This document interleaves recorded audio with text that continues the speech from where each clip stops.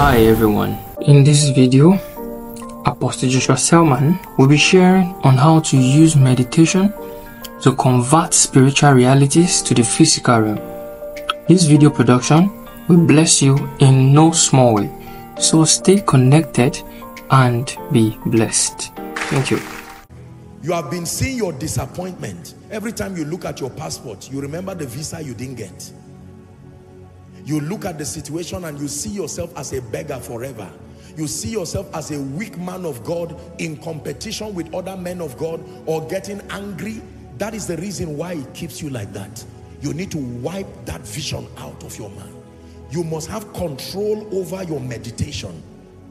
Welcome to StartNOW channel. We are glad you tuned in today to experience another life-changing encounter in God's presence. The Bible says in Psalm 119 verses 130, The entrance of thy word giveth life. As you listen and watch, may you experience the transformative power of God's light. There was a discipline that was invested to their prayer life. It was called the hour of prayer, dedicated to prayer, the hour of prayer. Most believers pray, but aside from praying amiss, we are not consistent in our prayer. We have an emotional approach to prayer. So when matters get bad and it looks like we're in trouble, we quickly develop some kind of crash system and we shout at the gates of heaven. And once it looks like there's a little solution, then we leave everything. Your prayer life, the power in prayer is in its consistency. Especially when we're talking about prayer as a tool for building you. I'll talk a bit on prayer. It's important we understand this. The key to benefiting from prayer is to create a strategy for consistency. The key to benefiting from prayer is to create a strategy for consistency. Most believers are not consistent in their prayer. Can I give you four assignments of prayer? Maybe you want to write that down. According to scripture, there are four assignments of prayer. Number one, the first assignment of prayer is for growth and transformation. This is the most important assignment of prayer. Did you know that the average believer's understanding of prayer is just as a means for receiving things from God? The major assignment of prayer is as a tool for your personal growth and transformation. Luke chapter 9, please, and verse 29. Are we learning? That means a major part of your prayer should not just be about asking things, but engaging for your spiritual development. This is why he gave us the prayer language. As he prayed, are we still together? The fashion of his countenance was altered. Talk to me. And his raiment became white and glistening. This is what happened to Jesus as he prayed. This is what will happen to any believer as you pray. As he prayed, the fashion of his countenance, transformation. A weak you can become a strong you when you pray. A timid you, a carnal you can become a spiritual you. You can pray out weakness, pray out limitation. Most believers have not used prayer as a tool for their development. Show me a man who has been methodically mentored to understand the ministry and the role of prayer in his development and has obtained grace to engage. I show you a powerful Christian in the making. Now, I hope you know that when the disciples of John became the disciples of Jesus, they noticed that Jesus' prayer produced power. And they came to him and said, Teach us to pray. Their issue was not prayerlessness, their issue was that there was no power in their prayer. Everything he said came to pass. What was he saying? What was he doing? You must spend a major part of your prayer life praying in the spirit when you want to grow. Listen carefully. you must spend a major part of your prayer time praying in the spirit. Hmm. Most believers do not use prayer as a tool for growth and transformation. It says, You shall receive power after that the Holy Ghost is come upon you. But in Acts chapter 2, they received a prayer language, not power. That means there is a relationship between that prayer language and the promised power. Am I right on that?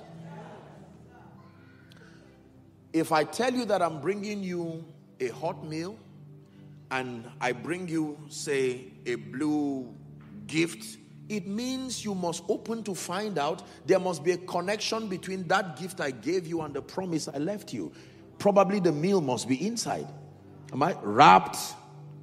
Are we together?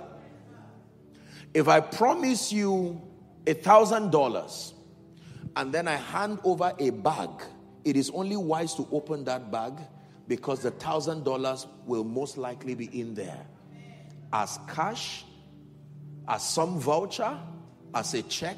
Am I right on that? So if Jesus says you will receive power and what you receive was tongues, you there has to be a relationship between engaging that prayer language and the release of power. Hmm. Hallelujah. Listen, I'm saying this because I'm going to give you an assignment in righteousness. You are going to work with the Holy Spirit to create a systemic pattern of consistent prayer from tonight. Believe me, you walk this for one month, two months, three months, praying consistently every day for the purpose of edification and growth and watch the wonder you become. Do you believe this? So, the first assignment of prayer is as a tool for growth and transformation. Number two, the second assignment of prayer is as a platform for obtaining requests and making petitions. Obtaining requests and making petitions. Obtaining requests and making petitions. God is Father, God is a giver. We can obtain requests, we can make petitions. Mark chapter 11, please, and verse 24. Here's what the Bible says. And what things soever ye desire. Is that in your Bible? it says, when ye pray. So there is a relationship between desires and prayer. It says, believe that ye receive them and ye shall have them. Desire, prayer, believing, receiving, having. Desire, prayer, believing in prayer, receiving in prayer, having in experience. This is a dynamics. So, prayer is a tool for making petitions and obtaining requests. The Bible even says, Ask, Matthew 7 7, and you shall receive. Is that still in your Bible? Seek and you will find. Knock, it says, and it shall be opened unto you. I like verse 8. For everyone. Prayer is for everyone. For everyone, not some. Everyone that asketh in prayer receiveth. It says, Ye have not because ye ask not. Are we still together? So, assignment number one of the prayer ministry is for your growth, edification, and transformation. Number two, as a tool, a platform to obtain requests and to make petitions. Ready for number three? The third assignment of prayer, as revealed from scripture, is as a tool for creating your reality. Prayer, when in combination with the spoken word, helps the believer create their reality. I like this. The Bible says, even God who quickened the dead and called those things that be not. I hope you know that the believer is a co creator with God you are given the responsibility of designing your destiny using the creative power of the spoken word in prayer. This must form a major part of your prayer life. Not just to ask, speak, Son of man, can these bones live? He says, Only thou knowest. And then he said, Prophesy. Speak to someone, say, Prophesy. prophesy. One more time, say, Prophesy. prophesy. Hmm. Now, isn't it interesting that the Holy Spirit told Ezekiel what to say? The bones heard what the Holy Spirit was saying and they did not move until Ezekiel spoke. I prophesied as I was commanded, he said, and there was a sound. So every time we prophesy in prayer, there is a sound. A sound, a sound, a sound, a sound of healing, a sound of restoration, a sound of revival, a sound of mending bones. Now, listen, you would look at a valley, a valley that was full of bones you would see the one bone here, the other bone there. The possibility for order was still there, even in the midst of chaos, but not under every condition. The moment the prophet prophesied, the bone came from everywhere to everywhere. The bone can mean the problem, the bone can mean whatever you desire, connecting itself until there arose an exceeding great army. Can I tell you, you do not know the kind of power you have as far as shaping your possibilities and creating your destiny is concerned until you know how to use scripture with the intelligence of an artist you begin to draw your possibilities have you watched an artist paint from nothing swiping the brush left to right at various angles, not making sense at the beginning, sometimes inverting the picture. Ah, and then when he's done, he turns it back. This is your destiny. So when you begin to make declarations like the Lord is my light and my salvation, of whom shall I be afraid of? Are we together now? Yes, sir. The psalmist said, I lay me down and I slept. I waked for the Lord sustain me a thousand shall fall by my side, ten thousand by my right side, but none shall harm me. With my eyes will I see and behold the reward of the wicked. The Bible says, They that be planted in the house of the Lord, they will flourish in the courts of our God. That in old age they will be fat and flourishing. That is my destiny. That is your assignment in the place of prayer to use the spoken word and push it with faith and begin to redefine your possibilities. When men say there is a casting down, for me, my declaration is that there is a lifting up. Yes, sir. Believe this. This is how kings reign he suffered no man to do them wrong. He reproved kings for their sake, saying, Touch not mine anointed and do my prophets no harm. I'm planted in the house of God. I flourish in the courts of our God. In old age, I am fat and flourishing. No devil would take my life before my time. In the name of Jesus, I have a covenant of life. Did the Bible not say if they obey and serve him, they will spend their years in prosperity, their days in prosperity, their years in pleasure? I expect to be favored in any nation, regardless my background, because the Bible says, watch this, it says, let them shout for joy. Let them say continually, let the Lord be magnified, which had pleasure in the prosperity of his servants. It is in my Bible that I am blessed in the city, blessed not just in Nigeria, I am blessed in America. I define my possibilities. Listen, I'm teaching you how believers become matured. I cannot be rejected, not by any nation, not by any people group. The hand of God is upon my life.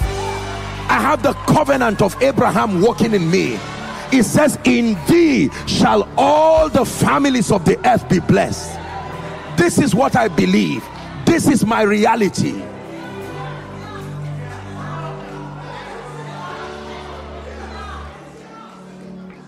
Please sit down. Do you believe this? Now you see, the requirement for prophecy is a thorough understanding of the promises of God.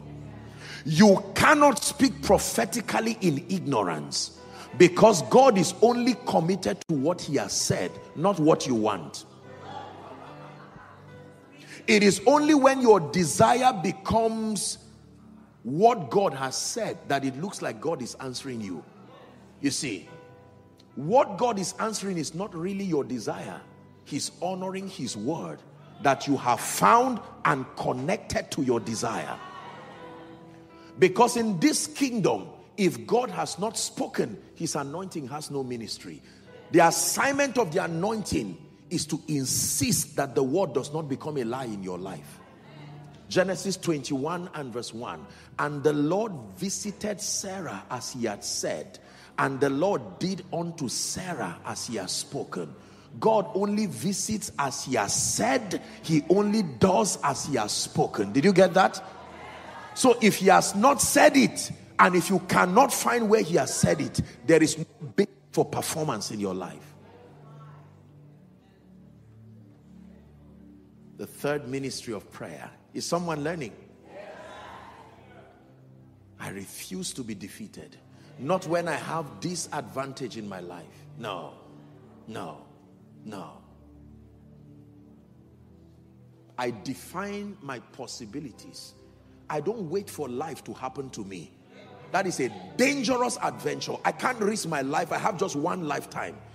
I'm not going to put one lifetime at the mercy of wicked people, wicked systems. No. Job already taught us a lesson by being silent. I would be silent. I have to participate in every outcome that happens in my life. No devil will make any discussions and then I become a victim of operations of spirits and territorial powers. No. No discussions were concluded about Job, and the Bible says, on a certain day. The third assignment of prayer. You see that for many of you, your life has gone inconsistent with your desires because you are just allowing life to just happen. Now, when you leave a farm without planting, something will grow. What is it called? One more time we define weeds in agriculture as unwanted plants, at least with respect to your farm. Unwanted. Hmm. Unwanted. Every tree that has not been planted by my father, it is my responsibility to uproot it. Are we together? So you find out that you're roaming over Boston and looks like doors are closed Everyone hates you. Come on. Don't go around attracting sympathy. Lock yourself. You have an advantage. The prayer ministry. You pray in the spirit and you stretch your hands like the priest that you are and begin to make prophetic scripture based declarations. Here's what the Bible says. Is anyone afflicted? James 5:13. It says, "Let him pray." Now watch this. Then it says, let him call for the elders of the church. My goodness, I like this. Watch this. It says, and let them pray. Help that person under the anointing. Anointing him with oil in the name of the Lord. Read verse 15 and never forget this scripture for the rest of your life. The prayer of faith shall save the sick. Hold on. And by the power of prayer, the Lord shall raise him up. Prayer raises men up the Lord shall raise him up through the prayer of faith. Raise him up from a nobody and put you in a global scale. Do you believe this? Listen, do not let contemporary society make it look like prayer is just an activity of fanatical Christians. You would be doing your destiny a disservice. He spake a parable to the end that men ought always to pray and not to faint. So, number one, praying in the spirit for your edification, growth, and transformation. Number two, using scripture based prayer as a basis for obtaining requests and making petitions. Unto thee that answers prayer, the Bible says, shall all flesh come. Number three, creating possibilities in your life is like an art of legislating things. You are enacting laws in the spirit and establishing them. The Bible says, Where the word of a king is, there is power. It says, Declare ye that thou mightest be justified. Don't be silent. Mm -mm. Give him no rest until he establishes Jerusalem as a praise. Number four, the fourth and final assignment of prayer is for warfare and prophetic intercession. I hope you believe in warfare. Let me define for you what I call warfare. Warfare is a prophetic system of establishing the word of God and establishing the will of God over lives, destinies, and territories. Warfare is concerned not just with fighting, but establishing realities that have been finished, making them manifest through the force of intercession. I'm going to be teaching you that because this is how you will take your territory. All the other aspects, excellence, leadership, value, you already have it. That missing ingredient is what I came to show you. We are learning from you the other aspects because we've gotten warfare and intercession well. Then we've left excellence, we've learned leadership, and so we are coming to borrow that. But in exchange, we're importing to you how to exert dominion upon territories using the power of priesthood. Elijah stood in one place, not in a radio station, not in a TV station, and he shot down rain Listen, if you learn what I'm about to show you tonight, the spiritual forces that trouble the purposes of God over Boston will be in trouble after tonight. You see, Daniel was an intelligent leader. And Daniel understood the power of prayer. Now, before the king, he was a valuable person, excellent, intelligent, an administrator. The Bible says he had an excellent spirit. But all that was strengthened because of his prayer. So the spirits of the Medes and the Persians, they needed to investigate what was responsible for this man's excellence and dexterity in life. They traced it to his prayer. Can you imagine that these spirits moved through men to enact one law against one man for just 30 days? They came through the angle of politics and governance to say for the next 30 days, no man would offer prayer to any God, king. Sign this. And if anyone were found doing that, he would be thrown to the lion's den. The Bible says Daniel opened the window. Do you know why he opened the window facing Jerusalem? Because when Solomon was dedicating the temple, he entered a covenant with God that everyone who faced Jerusalem offering prayer, that the Lord should hearken to them. And Daniel began to pray, and when they found him, they threw him at the lion's den. You know the story, and he refused to die. I didn't say he didn't die, he refused to die. If life is a choice, then death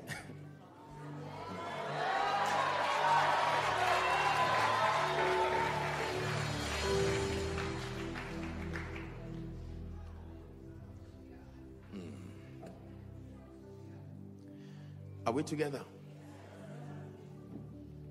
You want to become a powerful believer? You must pray. Say in the name of Jesus, I obtain grace to pray. One more time, in the name of Jesus, I obtain grace to pray. Can you pray in the spirit in one minute before we continue? In the name of Jesus.